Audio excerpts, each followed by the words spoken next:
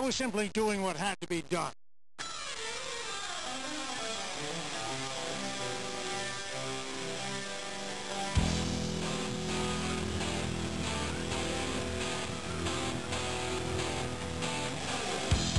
If these moto punks think that they can take over my town and use it as a stage for their tomfoolery, they've got another thing coming.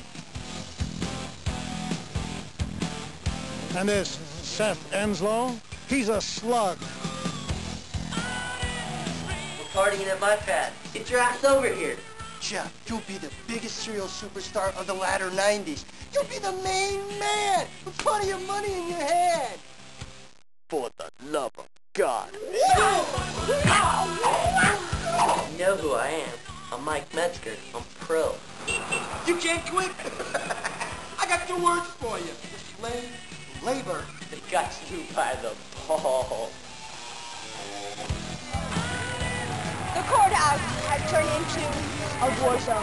Don't tell me it was that, that piss-ass Henslow. Order should be enforced. It's the youth. They're out of control. What's up? A Jeff Emig commercial. That's what I call feeling for the big ride. Great.